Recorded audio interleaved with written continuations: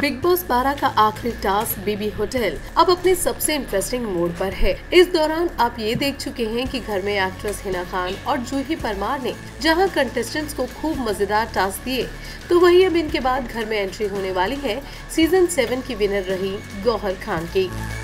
लेकिन आपको बता दें कि घर में एंट्री लेते ही गौहर खान के साथ श्रीसंत ने बदतमीजी कर दी, जिसके बाद घर का पूरा माहौल खराब हो गया। तो आखिर ऐसा क्या हो गया कि गौहर पर भड़क जाते हैं श्रीसन आइए पहले इसके बारे में आपको बताते हैं। दरअसल हिना की तरह गौहर भी कंटेस्टेंट्स को घर में एक एंटरटेनिंग टास्क देने पहुँची थी। ये एपिसोड आज रात दिखाया जाएगा। असल में कल शो के प्री कैप में ये दिखाया गया है कि गौहर ने पहले तो घर में आकर करणवीर के साथ जमकर मस्ती की। फिर इसके बाद जब उन्होंने श्रीसंत को कोई टास्क दिया तो वो उल्टा उन पर ही बरस उठे। दरअसल गौहर ने श्रीसंत से कहा कि वो दीपिका को गिफ्ट में मिली शोएब की जैकेट और उनके निकाह के दुपट्टे को स्टोर रूम में रख दे। बस फिर क्या? इसी बात पर श्रीसंत गौहर पर भड़क जाते हैं और उन्हें खूब खरी खोटी सुनाने लगते हैं। आपको बताते हैं कि श्रीसंत की इस तरह की बदतमीजी को देखकर गौहर भी काफ़ी नाराज़ हो जाते हैं। तो अब सवाल ये है कि क्या फिनाले से ठीक पहले श्रीसंत को गौहर के साथ इस तरह व्यवहार करना भारी पड़ेगा? क्या इससे श्रीसंत के फैंस की संख्या कम हो जाएगी?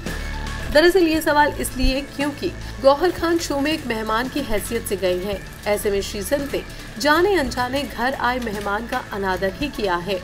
इसके अलावा श्रीसंत पर पहले भी महिलाओं के साथ गलत व्यवहार करने का आरोप भी लग चुका है। ऐसे में उनका गौहर पर इस तरह बरसना उन्हें खिताब से दूर ले जा सकता है। वैसे भी अगर आपको याद हो तो गौहर खान अपने सीज़न की ऐसी कंटेस्टेंट रही हैं, जो हमेशा सही और गलत में सही तरीके से फ़र्क करती आई हैं।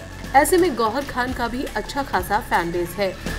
और अब शीशन की बदतमीजी इसीलिए उन पर भारी पड़ सकती है। साथ ही ये भी देखा गया है कि बिग बॉस में आखिरी दिनों में बचे कंटेस्टेंट्स की गतिविधियों पर ऑडियंस भी खासी नज़र रखती है। कौन क्या कर रहा है?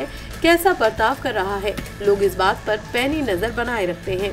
तो अब देखना होगा कि गौहर के साथ इस तरह मिसबिहेव करना कहीं श्रीसंत के फैंस कम न कर दे। तो अब श्रीसंत की इस हरकत का परिणाम क्या होगा? ये आने वाला वक्त ही बताएगा। मगर फ़िलहाल आप कमेंट सेक्शन में ये बताइए कि शो के आज के एपिसोड को देखने के लिए आप कितना एक्साइटेड हैं?